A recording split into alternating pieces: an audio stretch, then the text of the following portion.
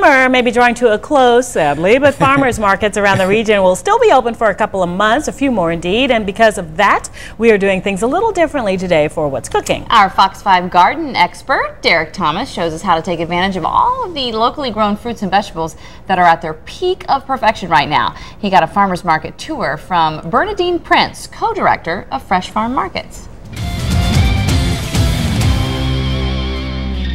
What's really great right now, they, the middle of August through the end of September is the most bountiful time at farmers markets. And look in here, these heirloom tomatoes. The tomatoes are gorgeous. Gorgeous, beautiful. You'll smell them. Absolutely and, and, wonderful. Now, how can I tell if this is a good tomato? Oh, wow. First of all, you need to just take it and smell it. Smell that. I mean, you can smell the tomato flavor. Ah, look how that beautiful is they wondrous. Are. And these are fabulous. Green zebras tomatoes. these are very, very wonderful in a salad. I can see that. And look at this. This is this is a chocolate tomato. I mean, look at the variety, the color, unbelievable. This is the farm at Sunnyside. They're growing in Washington, Virginia, organically grown. Everything that you see on this farm stand. I tell you what, I'm really smelling is the basil. The basil. It is just wondrous.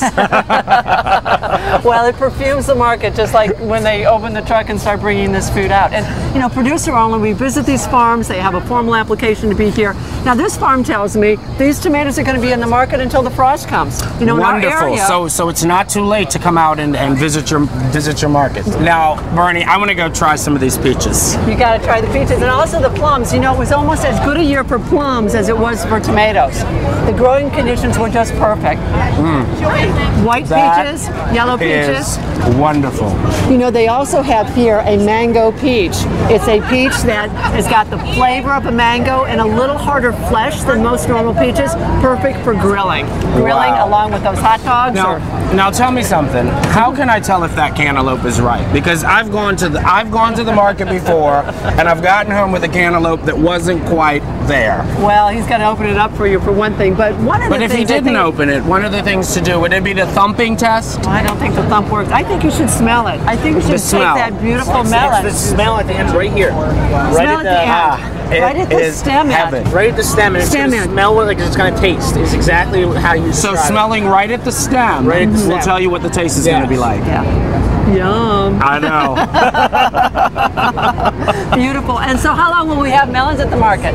Like two or three. Two through weeks. Yeah. So it's getting to be that fall transition almost. Yeah. So yeah. now, after the melons are available, what will we have coming apples, in? Pears. Apples, pears. Okay. Um, Apples basically, apples and pears is the main fall thing. Apple cider is a big, big one in the fall. Now, what about corn this time of the year? Do we have any corn available? We should I have some corn. Here. I saw some from the Eastern Shore of Maryland up on the top Because the, the Eastern Shore here. is known for its corn, right? Known for its corn, and also the fact that this is the season. You know, middle of August starts coming into so the market. So we're still in season for corn. We're still in season for corn, and what will happen as long as it rains, we get a little bit of rain out there, we'll have corn through the end of the month. At Wonderful. Least, maybe early September. But yeah. now this. see this, and this is just now this that. farmer, Sandhill Farm, she makes them pick it this morning. This got picked this morning. So this you is fresh picked today. Oh man, smell it. I mean, it's so good. Look how that's beautiful good. it is. That is really good. Really, I mean, that's what really you're going to nice. see is the variety of the product, also the freshness of the product. You're not going to find that. This is not road weary food. No frequent file love miles it. here. I love Absolutely it. Absolutely fresh. Absolutely fresh. Now tell me, so if we wanted to come down here, we can find out more information. Your website is, is freshfarmmarkets.org. Okay. And we've got eight markets, four in DC, four in Maryland. This Penn Quarter Market started in 2003.